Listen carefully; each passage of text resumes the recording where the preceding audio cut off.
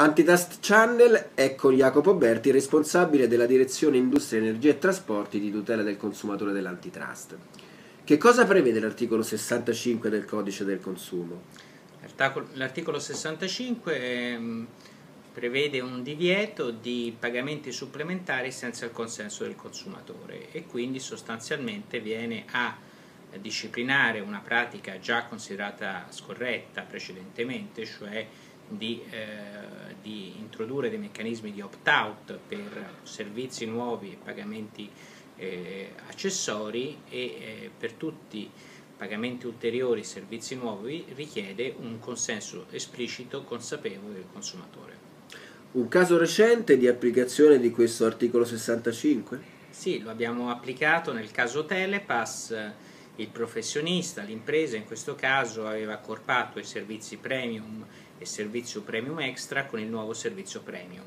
Sostanzialmente eh, il servizio premium precedente prevedeva il soccorso solo in autostrada e il premium extra anche in, sulla viabilità ordinaria e col nuovo servizio premium si è previsto il soccorso sia in autostrada che sulla viabilità ordinaria con un meccanismo appunto di comunicazione ai consumatori dell'attivazione del nuovo servizio che avveniva automaticamente.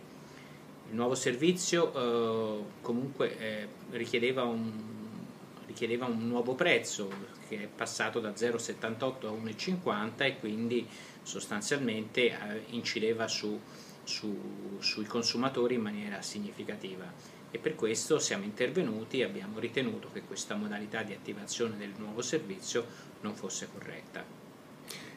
È stata multata Telepass? Sì, gli abbiamo dato una multa di 200.000 euro, eh, non particolarmente elevata perché abbiamo considerato alcune circostanze eh, particolari, attenuanti. La prima che il servizio il primo anno eh, veniva offerto gratuitamente, la seconda che nel corso del procedimento e prima della scadenza del, dell'anno ha appunto posto dei comportamenti rimediali e eh, ha chiesto a tutti i consumatori di esprimere il consenso all'attivazione del nuovo servizio e chi non, ha, non voleva gli rimaneva il vecchio servizio premium con il prezzo precedentemente stabilito.